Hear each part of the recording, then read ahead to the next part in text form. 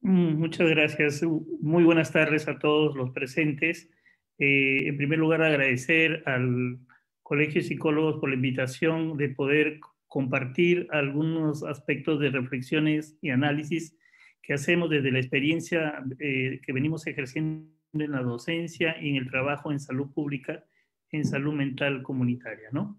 Eh, el objetivo de esta primera, este, esta conferencia va a implicar de que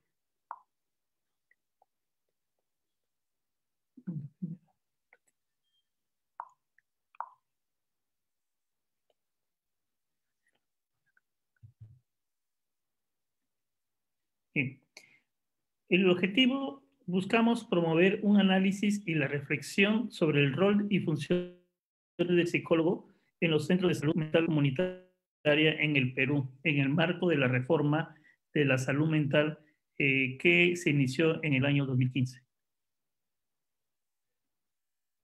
Asimismo, para empezar esto, este análisis entre lo que se ubica la salud mental comunitaria y la psicología social comunitaria, tenemos que mirar un poco la historia, ¿no? En este sentido, eh, parte por también mirar cómo el contexto donde se realizó la creación de los centros de salud mental comunitaria en Estados Unidos, por allá por los años de 1963, a través de la promulgación de la ley Kennedy con la creación de los centros de salud mental comunitaria. Esta eh, parte de la historia nos narra que efectivamente, eh, en, como respuesta a un estudio sobre la salud mental, la salud mental o el estado de la salud mental en Estados Unidos, había que establecer una reforma y un replanteamiento de los servicios de salud mental, de tal manera que se estableció el replanteamiento a través de mirar ya la comunidad y la tarea principal del trabajo en salud mental implicaba un trabajo preventivo en la comunidad. De tal manera que en el marco de esta ley, la ley Kennedy, con la creación de los centros de salud mental, los psicólogos clínicos tuvieron que trasladarse a la periferia a trabajar aspectos preventivos ubicados en la misma comunidad. Y es así que nace la psicología comunitaria, tal como nos reporta la historia. Entonces, ¿qué nos hace entender esta primera reflexión? Que efectivamente los aspectos políticos en una disciplina y como tal va creando y va generando la innovación de una nueva función y la incorporación de un nuevo marco teórico y también validación de prácticas metodológicas que ayuden o que validan eh, eh, la aparición o la promulgación de una nueva disciplina en el campo de la psicología. Y precisamente hablamos de una psicología netamente de la prevención en sus inicios, ¿no? Eh, en donde las ciencias sociales eh, eran las principales, los principales marcos teóricos referenciales para trabajar ámbitos o factores sociales que tienen que ver con los comportamientos, con los estados de salud mental y que necesitaban ejercer una intervención multidisciplinaria y sobre todo contextualizada en la misma realidad donde viven las personas. En tal sentido que hablamos de una especie especialidad de la psicología, que es la psicología comunitaria, así como existía la psicología clínica, se planteó la, la creación de una psicología nueva que al inicio fue llamada psicología de la comunidad. Así como hubo esta reforma, esta evolución del ser de salud mental, con el enfoque llamado también el movimiento comunitario, implicaba también pro, poner un trabajo de salud mental en la comunidad, donde las diferentes disciplinas que tenían que ver principalmente la psiquiatría, la enfermería y la psicología, tenían propio comunidad. Eh, entonces, podemos eh, hacer y comenzar a mirar a partir de lo que la historia nos, permitió, la creación de esta especialidad de la psicología, eh, presentar una conceptualización válida y vigente que permite sobre todo orientar todos estos aspectos del quehacer en psicología comunitaria. Un concepto que ya muchos deben conocer, el clásico concepto de Marixa Montero, que es válido y ayuda mucho a establecer una clara diferenciación de la psicología con el resto de las especies de psicología, en donde establece que la psicología comunitaria es una área de una especialidad de la psicología donde busca justamente establecer el estudio de la influencia del medio del hombre del medio ambiente sobre el y cómo esta eh, relación o el producto de esta relación puede ayudar y debe permitir establecer el desarrollo, el fomento y el mantenimiento del control y poder de las personas sobre su ambiente. Es decir, los convertimos en agentes que, que cambio a las personas, las empoderamos y les generamos cierta responsabilidad en los ajustes necesarios para el desarrollo de, de su bienestar. ¿no? Un concepto también válido que es importante tomar en cuenta y que a mi parecer eh, ayuda mucho a contextualizar el trabajo de la psicología comunitaria en el campo de la salud pública es el concepto dado por Alipio Sánchez Vidal. Alipio Sánchez Vidal es uno de los psicólogos que actualmente ha escrito y tiene una alta experiencia en el trabajo en salud pública allá en España. Y él este, propone esta, este concepto entendiendo que justamente se trata de una área de la psicología donde busca estudiar la relación entre los sistemas sociales. Es decir, sistemas sociales como elementos que integran y conforman una comunidad. Y, y esto relación con el comportamiento de las personas de esta comunidad. Asimismo, este concepto señala su aplicación interventiva en dos puntos. Por un lado, una perspectiva negativa que se trata de mirar los aspectos negativos que tiene la comunidad, que son los problemas. Establecer cómo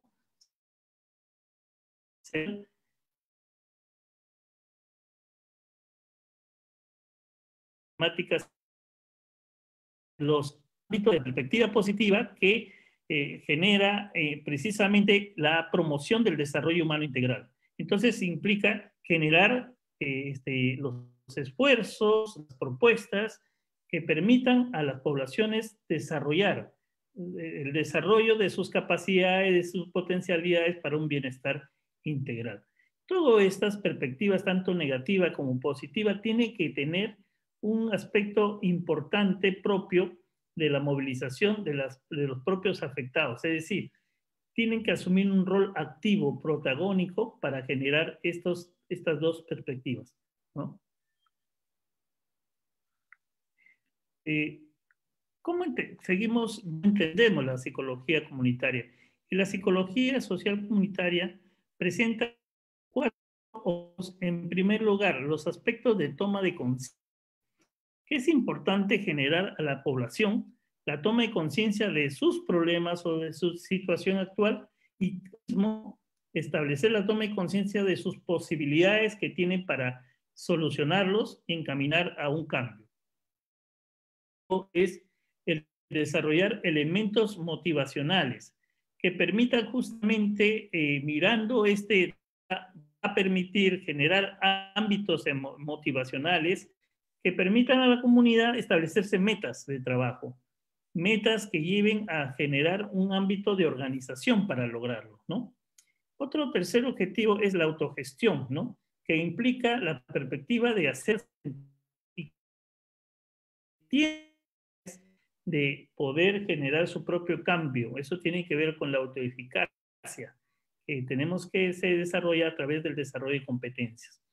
Y por otro lado, la socialización en el sentido de un trabajo organizado. Y esto tiene que ver mucho con los ámbitos de deberes y derechos para poder generar este ámbito que no solamente la comunidad tiene que exigir eh, ayuda, sino que tiene que asumir una responsabilidad cívica, organizacional, para responder a sus necesidades propias en ese, en ese sentido. Ahora, ya habiendo pues, esta especialidad de la psicología, tenemos la reforma de salud mental este, establecida a partir de 2015, cuando se estableció la modificación de la ley de Salud eh, con la modificación del artículo 11, que permitió justamente establecer el, enfoque de la atención de la salud mental bajo un enfoque comunitario. Y esto justamente dar cosas importantes de, de, valor en, el país. Por, por un lado, la normativa eh, para poder promover los servicios de atención de salud mental, por un lado. Y segundo, validar o presentar los aspectos de un modelo de atención de salud mental comunitario, o sea, el modelo comunitario debe centrar en la persona, en la familia y en la comunidad. Y esto permitió la creación, la asignación presupuestal, la creación los primeros aparecieron en el año 2015. Imagínense, el primer centro de salud mental comunitaria en Estados Unidos fue en, en 1965, mientras acá en Perú nuestro primer centro de salud mental comunitario lo hemos tenido en el 2015. ¿Cuánto tiempo nos hemos, hemos prolongado esta reforma? ¿no? Pero lo importante es que se ha dado. En tal sentido, esta reforma ha permitido justamente establecer la manera en cómo podemos percibir tanto a la persona afectada en su salud mental como lo que implica la intervención propia mental, ¿no? Aún de haber pensado y percibido a la persona afectada como un enfermo, a, a mirar hoy en día a un ciudadano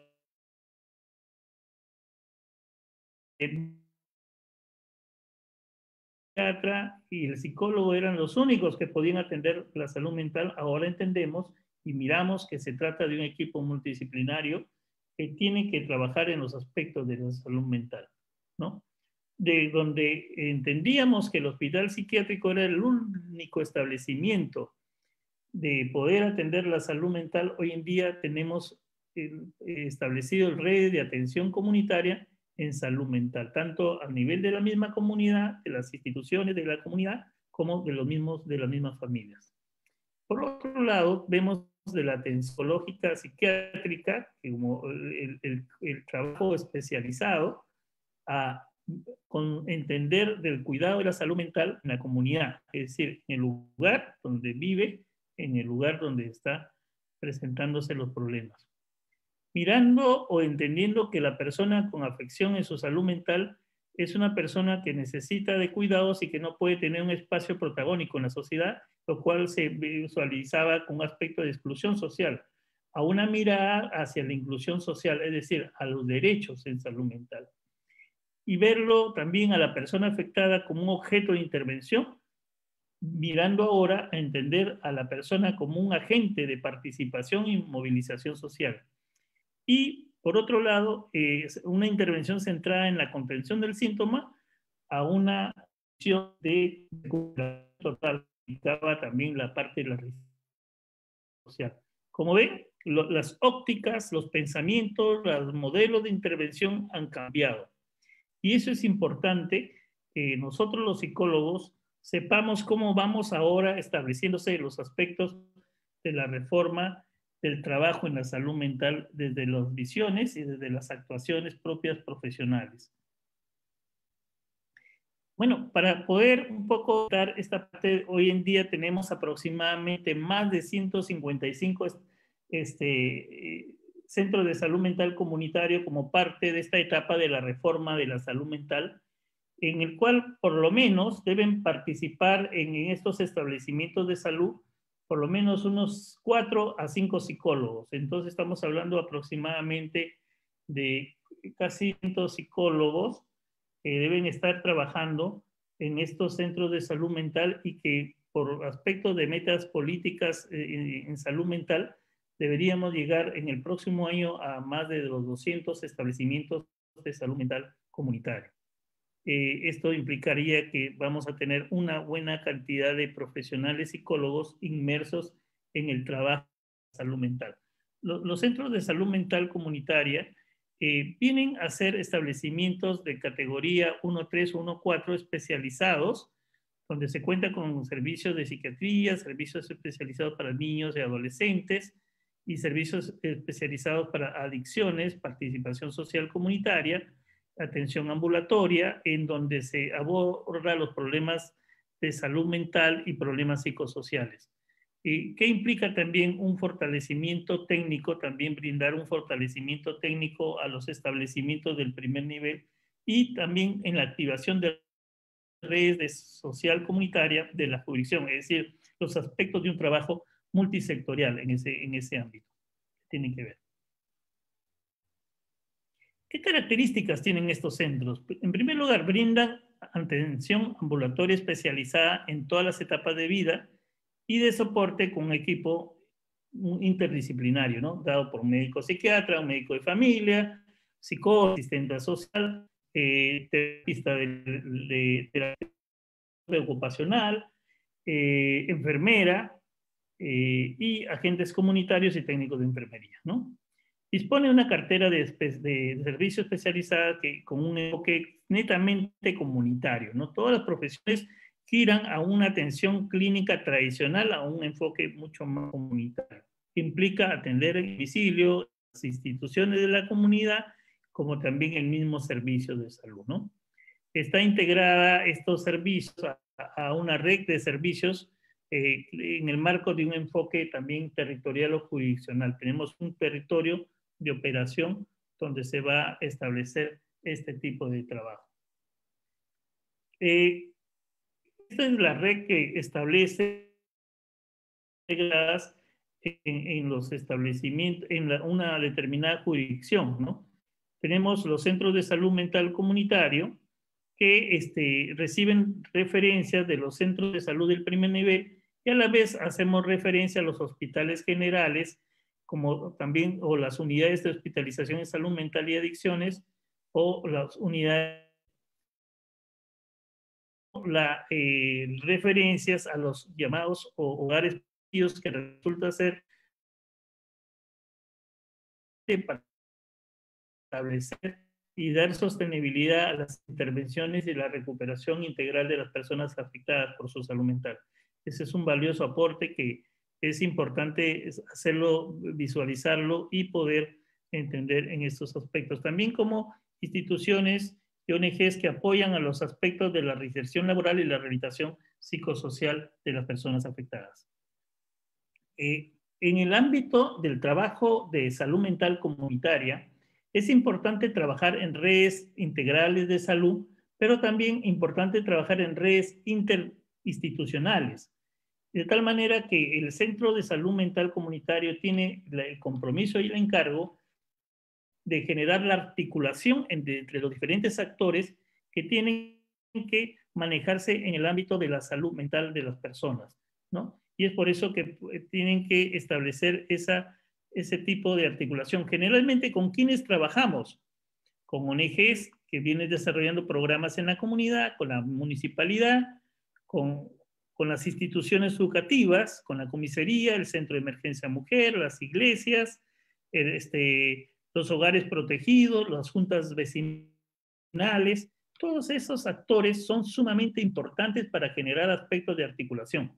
Nosotros en el establecimiento que tenemos eh, eh, el orgullo de, dirigir, eh, este, es el Centro de Salud Mental Sarita Colonia, ahí tenemos una mesa técnica que trabajamos un aspecto de articulación con diferentes actores. Tenemos una red de, 13 instituciones educativas, tanto las, este, públicas como privadas, desde el, ámbito inicial, primario, y los CEPROS, que también hay un par de CEPROS que participan en estas redes de intervención.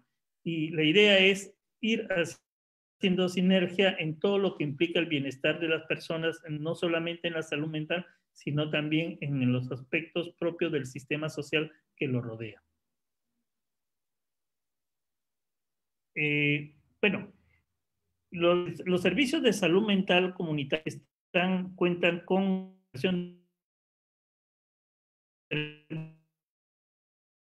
la prevención y atención y recuperación del niño adolescente, del adulto y adulto mayor, el servicio de recuperación de las adicciones, como vemos el servicio de participación social comunitaria. Y, en la ubicación que vemos el servicio de participación comunitaria articula con los demás servicios para los aspectos justamente de la recuperación y la reinserción social de las personas afectadas por su salud mental, sean niños, adolescentes, adultos mayor o personas afectadas por problemas de las acciones. Eh, el equipo, ¿no? Porque hablamos de un equipo y esto es lo interesante, ¿no? Que, que yo cuando vi este documento técnica de funcionamiento de los centros de salud mental comunitario, eh, me alegré mucho porque tengo 30 años de servicio en el sector salud y siempre el psicólogo de un centro de salud era catalogado como un psicólogo clínico, ¿no? O un psicólogo que tenía que ser clínico y hacer trabajo preventivo, clínica preventiva. Hoy en día, a través de los centros de salud mental y por una norma técnica, reconoce la especialidad del el psicólogo social comunitario, ¿no? en este aspecto incluye y reconoce la incorporación o la participación de un psicólogo en el equipo de servicio de participación social comunitaria. De tal manera que hoy en día el contrato de psicólogos que también tengan el perfil de un trabajo en psicología social comunitaria, ¿no? Y que este, principalmente es importante y es una de las tareas que nosotros queremos también asumir en ese sentido es de poder generar eh, que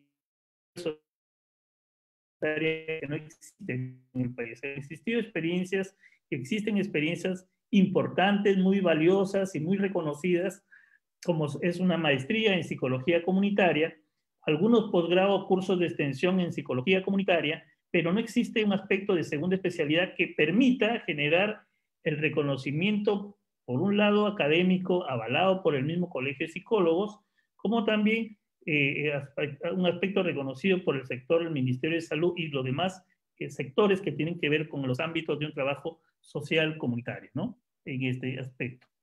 De tal manera que también este mismo documento determina un conjunto de funciones que tiene los servicios de participación comunitarias. Eh, por cuestión de tiempo voy a, presentar rápidamente algunos de las funciones quizás más resaltantes que radica todo este bloque de, funciones, principalmente primero en fomentar y coordinar la participación social comunitaria de las instituciones, en primer lugar. En segundo lugar, que implica trabajar aspectos y programas preventivos y de promoción de la salud mental. Y en tercer lugar, establecer aspectos de incidencia pública y política en el tema de salud mental, ¿no? Y que permitan justamente ah, desarrollar aspectos de comunicación y, desarrollo de estrategias eh, de fortalecimiento de la organización comunitaria, ¿no? En tal manera que es importante que el psicólogo en estas funciones reconocidas por una, norma técnica avalada con una resolución ministerial, pueda eh, estar debidamente preparado para poder dar respuesta a estos encargos funcionales propios de, uno de los servicios de salud mental que tenemos en el país. Eh, yo este, tengo algunos exalumnos que vienen trabajando y muy bien que lo vengan haciendo, felicitaciones a esto, que eh, están ya trabajando y laborando en algunos centros de salud mental comunitaria. Y de repente están mucho más centrados en el trabajo de la atención del niño, la atención del adolescente, del adulto, adulto mayor, de una atención mucho más clínica, pero existe el espacio de también participar en los servicios de participación social y comunitaria de estos centros y están ahí el encargo y las funciones que deben hacerse en el marco de estas tareas. De tal manera que eh, es necesario hacer visible que existe una especialidad de la psicología que justamente puede tener y tiene un discurso y un argumento lógico para poder cumplir con, de manera eficaz y sólida estos encargos de estas tareas que las propone la norma técnica. Entonces, hablamos, de acuerdo a lo que menciona Alipio Sánchez Vidal, en uno de sus documentos del Manual de Psicología Social Comunitaria, sus principios teóricos y, metodológicos, habla de estos aspectos propios de, los, de las dimensiones y los roles funcionales de un psicólogo social comunitario y él lo ha documentado en base a su trabajo y su experiencia en salud pública, ¿no? Es muy semejante a, la nuestra que hemos venido desarrollando en algunos años.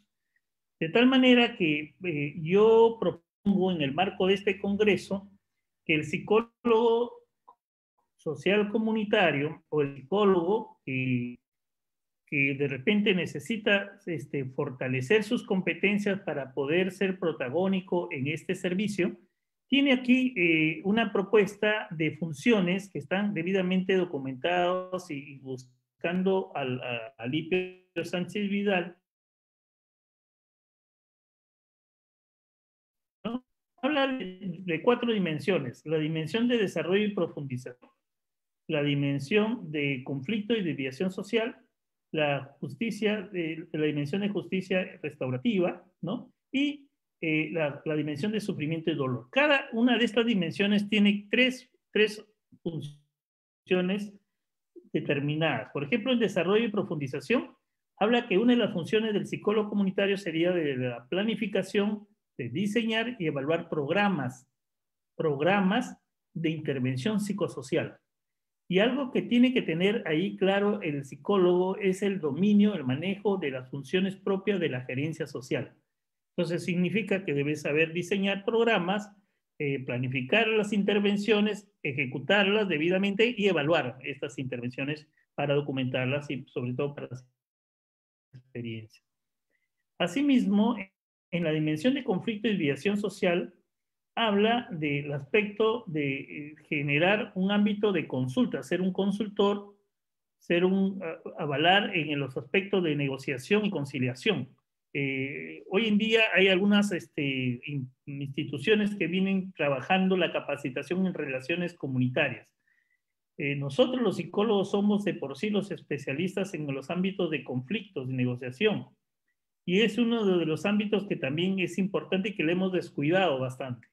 Existen muchos conflictos sociales hoy en día en el país y no vemos la participación ahí de los psicólogos. Y es importante que podamos responder a, estas, a este tipo de situaciones. ¿no? Por otro lado, hablamos del ámbito de la abogacía este, en, en, cuanto a justicia y restauración. Hablamos de la abogacía social, la organización y aquí el psicólogo se convierte en un dinamizador de organización, movilización comunitaria, concientización. Este rol es un poco difícil porque muchas veces nos confunden en situaciones que somos este, aladores, subversivos, levantamos masas, lo que implica nuestra labor es de informar, sensibilizar a la comunidad y organizarla para poder, para que genere un aspecto de actuación y reclamo de por sí de sus derechos y, sobre todo de beneficios que les corresponden. ¿no? Respecto de, conflicto y sufrimiento, sufrimiento y dolor, aquí es donde viene el ámbito que muchas veces también desde los centros de salud mental comunitaria, cuando hay situaciones de emergencia y desastres, nos llaman a nosotros para poder hacer la intervención en los primeros auxilios psicológicos o la intervención psicosocial en crisis.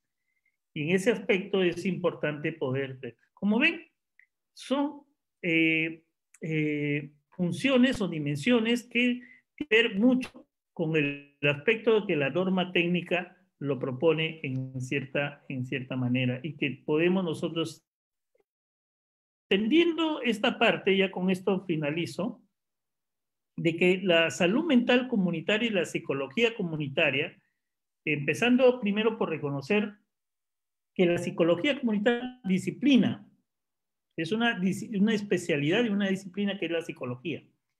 Y la salud mental comunitaria es un quehacer multidisciplinario. Entonces, el psicólogo, utilizando los principios teóricos, metodológicos de la psicología comunitaria, puede contribuir de una manera ahora reconocida por, por, por este, aspectos normativos y estratégicos, de un espacio donde puede desarrollar las intervenciones psicológicas comunitarias propias de la psicología comunitaria. Todo esto abordado a un enfoque del enfoque social comunitario y un abordaje sistémico. Es importante que los psicólogos comunitarios podamos tener siempre esa perspectiva sistémica y sobre todo el enfoque y de las funciones propias de la salud pública, ¿no? Y para poder generar este, este ámbito, ¿no? Bien, eso es lo, lo que queda de presentación. Aquí algunas fotos del trabajo que venimos desarrollando en el, ¿no? Como vemos, aún en condiciones de virtualidad, del COVID, no perdemos el aspecto de ir generándonos un trabajo articulado en, en los, eh, en el trabajo con la comunidad, ¿no?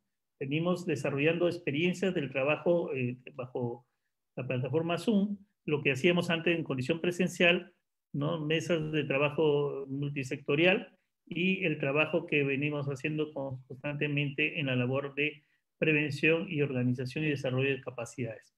Eso es todo. Muchas gracias por su... Estoy ya no a, a poder este, considerar algunas preguntas que nos planteen. Gracias. Um, bien, doctor. Al parecer no hay ninguna pregunta de ninguna de nuestras plataformas pero quizás podríamos, eh, a manera de eh, nuevamente plantear algunas conclusiones respecto al tema. Bueno, los que tenemos todavía. Eh, hace algunos meses atrás tuve en un encuentro que tuvimos acá en Lima, de los centros de salud mental comunitario, tuvimos, tuve la suerte de encontrarme con algunos exalumnos me contaban con mucho entusiasmo que estaban trabajando en los centros de salud mental. Y les hablaba esta parte de, poder este, mirar el ámbito del trabajo en, en, salud mental comunitaria en el aspecto de la perspectiva de la psicología comunitaria. Y me comentaban ellos que sí, efectivamente, pero que se comete el error a veces de encargar a la trabajadora social nada más para poder trabajar este, eh, el ámbito de la parte de organización. Algo que tenemos que tomar en cuenta, que, y lo está establecido por la norma técnica en el marco de las funciones propias del, servicio, que es crear los aspectos de eh, redes eh, multisectoriales para el trabajo de lo que implica la aplicación del proceso de rehabilitación psicosocial que necesitan los pacientes. Y esto significa el aspecto del aporte de diferentes este, instituciones. Una cosa implica por parte del servicio social, que es un trabajo muy valioso, yo valoro mucho el trabajo de que realizan las trabajadoras sociales y son pues, muy eficaces y, contribuyen de manera importante en el aspecto del trabajo en apoyo social, pero otra cosa es el aspecto del fortalecimiento psicosocial. Eh, la red psicosocial de apoyo significa trabajar aspectos de crear el sentimiento psicológico de comunidad, sentido de pertenencia. Y ese es un trabajo del psicólogo. Tal como recomienda el que hacer de las intervenciones comunitarias y precisamente el psicólogo comunitario implica la construcción y reconstrucción del sentimiento o sentido psicológico de comunidad y parte, como te establece en la norma técnica, en la creación de redes ¿no? comunitarias, como también redes sociales que puedan tener los mismos pacientes, a las personas afectadas, es importante crear los clubes psicosociales. Por ejemplo, eh, nosotros en Sarita tenemos el, ámbito de, la parte de los padres de familia de niños afectados eh, con autismo, eh, las mujeres víctimas de violencia, no hay grupos de ayuda mutua que venimos impulsando, y este, también los clúsicos sociales trabajados con una ONG, ¿no? que, que viene desarrollando un aspecto importante, y del trabajo articulado en diferentes instituciones para trabajar el tema de atención a la discapacidad, ¿no? Eh, que es importante poder eh, visualizar este ámbito propio de lo que tiene que darse. Ahora, otro tema que, yo considero que debemos prepararnos ahí un poco más y que pedir el espacio y, también demanda eh, en que podamos mirar algunos aspectos ya al margen de la psicología netamente, es los aspectos de la comunicación, las, las estrategias y los medios de comunicación. Eh, es importante que nosotros sepamos el uso, las estrategias de cómo crear material educativo, ¿no? escrito, audiovisual, de audio, que hoy en día es importante poder, a través en la condición de, distanciamiento que tenemos, eh, poderlo aprovechar, ¿no? utilizando una serie de, aspectos importantes a difundir.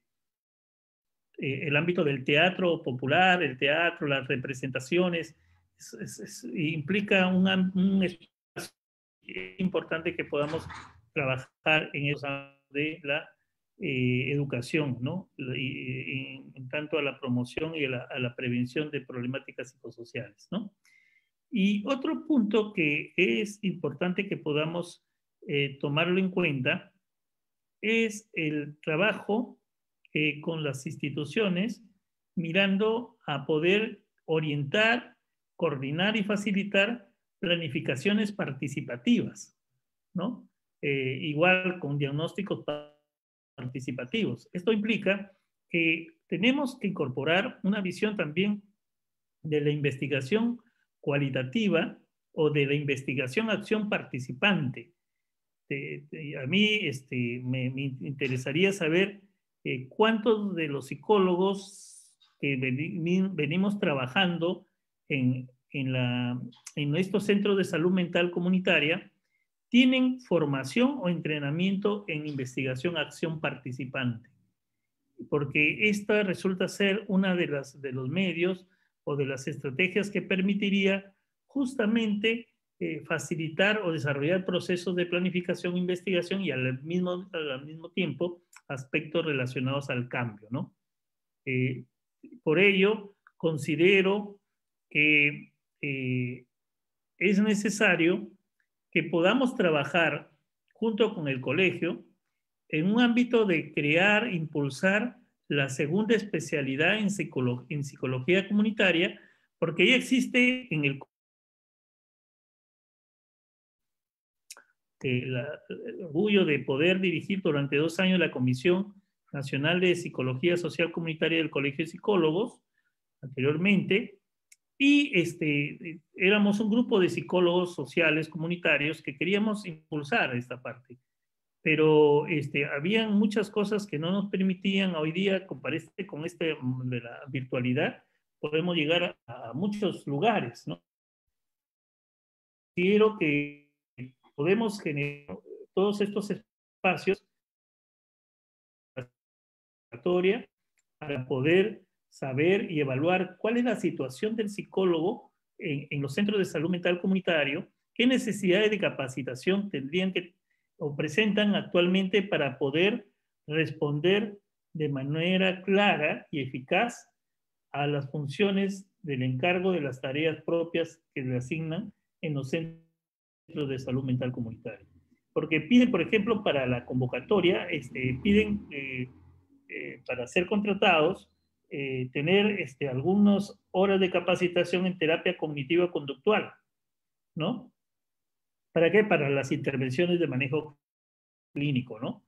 Pero también para los ámbitos de, en, el ámbito de las intervenciones comunitarias, tendríamos que también establecer algunos ámbitos de eh, espacios que permitan trabajar esos, esos aspectos. Eh, considero que ahí hay una tarea que tenemos que hacer no solamente el Colegio de Psicólogos, sino también este, quienes estamos trabajando actualmente en eso. No sé si hay alguna pregunta. Correcto, doctor. Sí, eh, tenemos una pregunta eh, que nos la hace Valentina Duarte. Y dice lo siguiente, ¿en qué tipo de instituciones se podría hacer prácticas o pasantías en psicología comunitaria? Muy buena pregunta. Vamos a hablar del sector privado, primeramente. Después pasamos al sector. En el sector privado eh, tenemos una diversidad de instituciones. Eh, las ONGs, ¿no? Eh, por ejemplo, hay ONGs que vienen trabajando programas en salud mental comunitaria, que yo conozco y avalo su trabajo, donde vienen desarrollando proyectos muy interesantes, ¿no? Habría que precisar eh, cuáles son las condiciones que establecen las ONGs frente a esta condición hoy en día de distanciamiento social, eh, en donde algunas veces este, consideran que puede ser de, tipo virtual y algunas se piden de tipo presencial.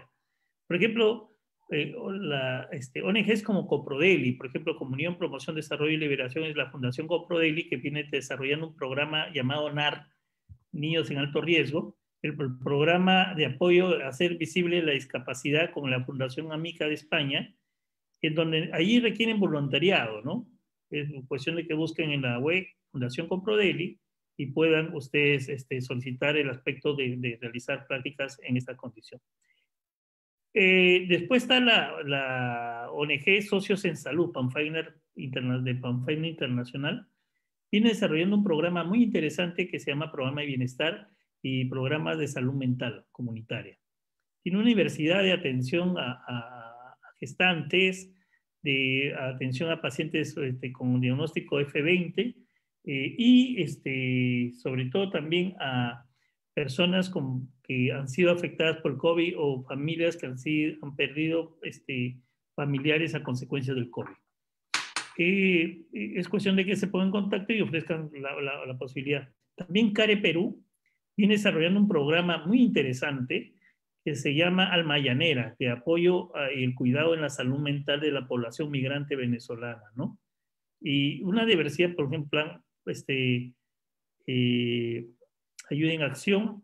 Están también los centros de rehabilitación, algunos que sobre todo hay que fijarse en la gama de centros de rehabilitación, eh, fijarse sobre todo que cuenten con equipo profesional y equipo de profesional completo, que debe ser un médico psiquiatra, médico general, psicólogos y educadores, eh, debidamente. Y allí tiene un espacio importante para no aplicar psicología clínica, sino aspectos de psicología social comunitaria, porque el modelo de rehabilitación es un modelo netamente comunitario. En el sector público hay una diversidad de instituciones. Por ejemplo, tenemos el, eh, también el Centro de Emergencia Mujer que desarrolla un programas comunitarios de prevención de la violencia, dirigido tanto a mujeres, creación de agentes comunitarios, y también un trabajo de, prevención, un trabajo interesante que vienen desarrollando con, con varones. Eh, los centros de salud mental comunitaria también establecidas y este, eh, en, en, educación. En educación también hay el espacio donde se pide a los psicólogos trabajar aspectos preventivos en coherencia y desarrollo de capacidades y habilidades sociales en los adolescentes. Y la está en que se pueda tener eh, cada institución tiene sus propias condiciones de realizar prácticas, pero ahí eh, hay un, programas muy interesantes que, es cuestión de que se contacten con ellos para poder este, ofrecer, en algunos casos lo presentan como, como este, voluntariado, ¿no? Y se les reconoce como prácticas, y este, eh, también tienen que ver en las políticas que las universidades plantean, ¿no? Respecto a las, si se tratan de prácticas preprofesionales, ¿no? En ese, en ese ámbito. Correcto, doctor. Eh, bien, eh, tenemos por último las, los tres últimos comentarios, no son preguntas, son más bien comentarios. La primera es la de Luz Sánchez, que es un aporte a, a la ponencia que acaba de presentarnos. Eh, dice, en las convocatorias de psicólogos para laboral en centros de salud mental comunitario, piden entre los requisitos mínimos tener estudios demostrados en psicoterapia por 150, lo que limita a los psicólogos con maestría en psicología comunitaria a acceder a estos puestos si no se cumple con ese requisito. En este sentido, considera que en las convocatorias se valora la especialización en psicología comunitaria y como requisito secundario tener estudios en psicoterapia que a propósito son adquiridos en el pregrado. Es el aporte que nos da Luz Sánchez y también tenemos un mensaje que es directamente para usted, no es tanto sobre la conferencia que nos hace Luti Márquez y dice, profesor, qué gusto verlo después de 22 años. Y otro comentario es de Lili Vizcarra, que dice, gracias, doctor Mendoza, un orgullo haber sido su alumna y corroborar su excelencia profesional a lo largo de toda su valiosa trayectoria.